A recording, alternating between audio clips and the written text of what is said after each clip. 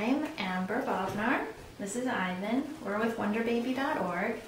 And today we're working on a Christmas activity. We cut out, this is foam paper, cut out big triangles, and then on the foam we put these um, Velcro stickers. So you can see there's Velcro stickers on our tree. And then we got these felt shapes, and I cut some out of foam and put more Velcro on the back so they would stick. So then I then can put the ornaments on the tree or take the ornaments off of the tree. Here, you want an ornament? Don't put it in your mouth though.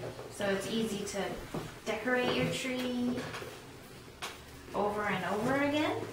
You can take the ornaments off and put different ornaments on. It's very tactile. And we got a pipe cleaner. And then the pipe cleaner goes in the hole that we punched at the top of the tree. See?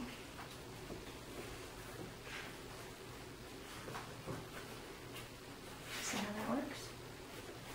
And then we tie it together at the top. And look. Now you can hang your up your your tree. And that is our tactile Christmas tree craft.